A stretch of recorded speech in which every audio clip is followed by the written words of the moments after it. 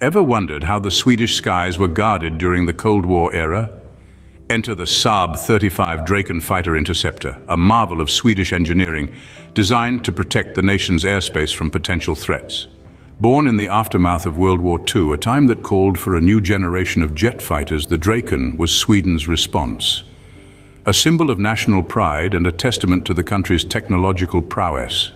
It's not just a fighter jet, it's a symbol of Swedish engineering prowess. The Draken wasn't just another jet, it was a revolution in aerodynamics. Its design was a unique double delta wing configuration, a first in the world of aviation. This design not only gave the Draken a distinct look, but also offered enhanced stability at high speeds.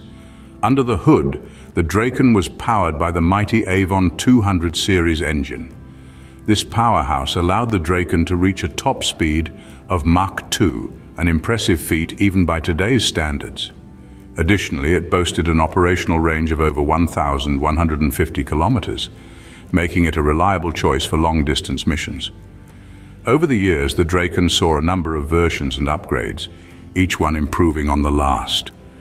These enhancements kept the Draken at the forefront of military aviation, always ready to meet the challenges of the day. With its unique design and powerful engine, the Draken was truly a force to be reckoned with. The Draken didn't just look good on paper, it excelled in the sky. The operational capabilities of the Saab 35 Draken were truly impressive. This formidable aircraft was not just a fighter, but also served as an interceptor and reconnaissance aircraft. Its versatility was unmatched. The Draken's speed and maneuverability were its prime assets during interceptions.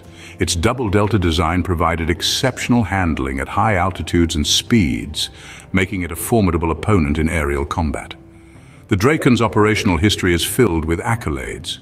It served with distinction in the Swedish, Danish, Finnish and Austrian air forces.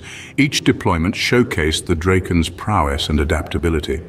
In Sweden, it defended the nation's neutrality during the Cold War. In Denmark and Finland, it played a key role in maintaining airspace sovereignty. The Austrian Air Force deployed it for air defense missions where it excelled in challenging alpine conditions. From the cold skies of Sweden to the international stage, the Draken proved its mettle time and again. The Draken may no longer rule the skies, but its impact is undeniable.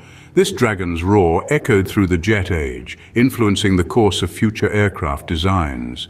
With its unique double-delta wing and powerful engine, the Draken demonstrated the potential of Swedish innovation in the global arena.